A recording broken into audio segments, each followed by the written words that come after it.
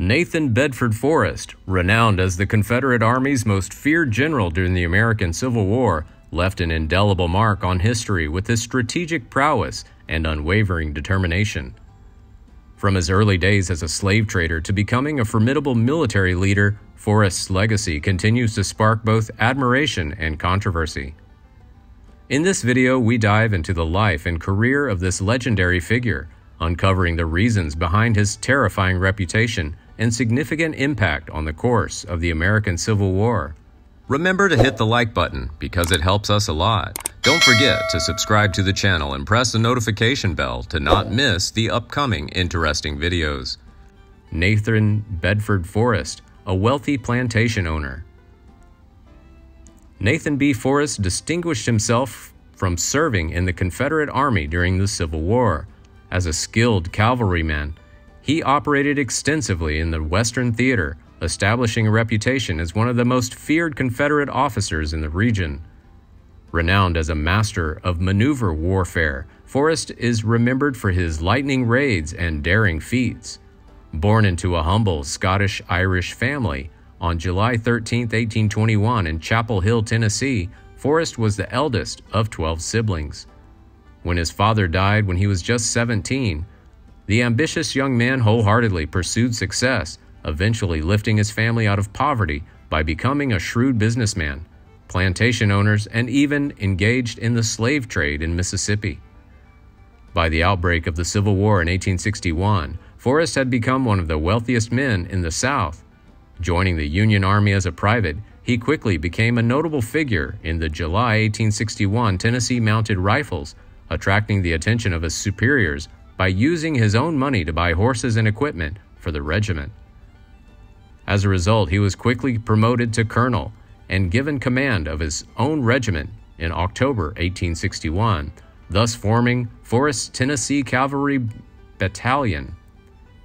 Despite having no formal military training or prior experience, Nathan Bedford Forrest quickly emerged as a remarkable officer demonstrating his mettle at the Battle of Fort Donelson in Tennessee in February 1862. Refusing to surrender along with other Confederate forces, he deftly escaped the fort and made his way to safety. Then, in April of the same year, Forrest commanded his troops and was wounded in the Battle of Shiloh in Tennessee. Notably, in July, he was promoted to brigadier general. Sometime later, he took part in the Confederate assault on Heartland, commanding his battalion at the Battle of Murfreesboro in Tennessee. In December 1862, General Braxton Bragg, against Forrest's objections, transferred his experienced veterans to another officer. As a result, Forrest was forced to assemble a new brigade consisting of about 2,000 inexperienced recruits, many of whom lacked suitable weapons. Despite Forrest's objections about the dangerous nature of sending such untrained men behind the enemy's front lines, General Bragg insisted that they be deployed to western Tennessee to disrupt the lines of communication for Union forces under General Ulysses S. Grant, who posed a threat to Vicksburg, Mississippi. Forrest, reluctantly obeying Bragg's orders, carried out the mission, even though he believed it to be a dangerous one. In this raid, Nathan Bedford Forrest showed his exceptional talent, deftly leading thousands of Confederate soldiers in a pursuit across western Tennessee.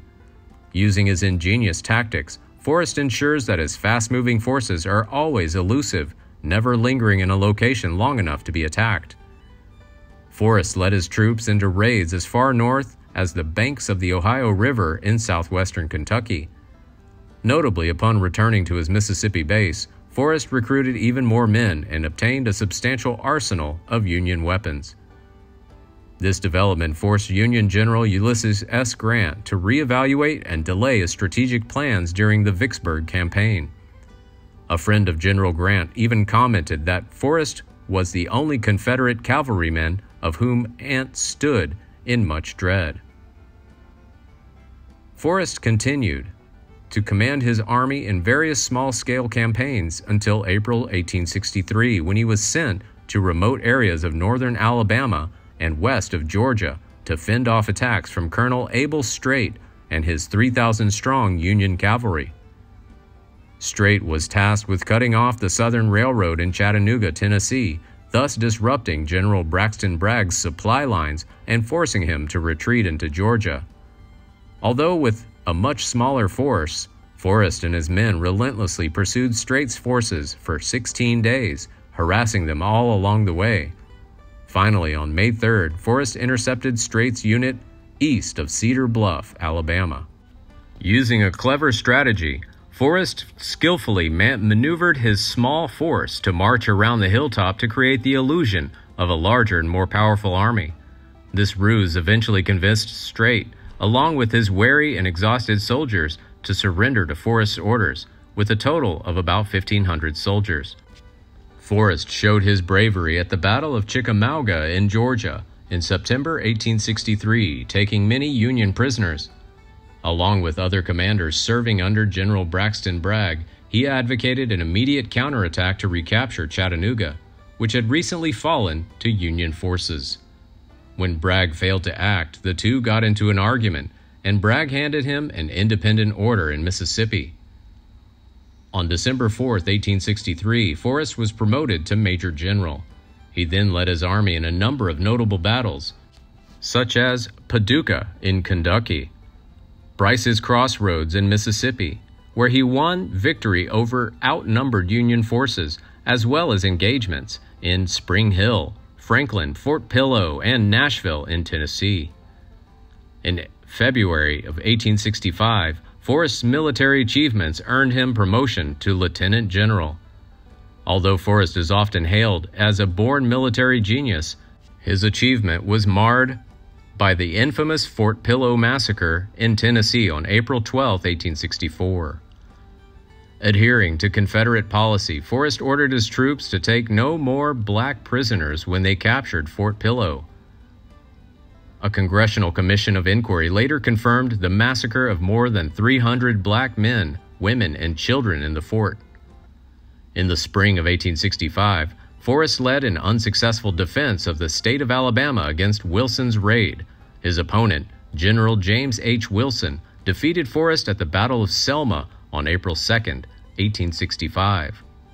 A week later, General Robert E. Lee surrendered to Grant in Virginia. Upon receiving news of Lee's surrender, Forrest also surrendered. During the war, he gained great respect as a cavalryman and partisan ranger gaining a reputation as one of the most innovative and successful generals. Even today, modern soldiers still study his tactics of mobile warfare. After the war, Forrest settled in Memphis, Tennessee. However, the abolition of slavery had serious financial consequences for him.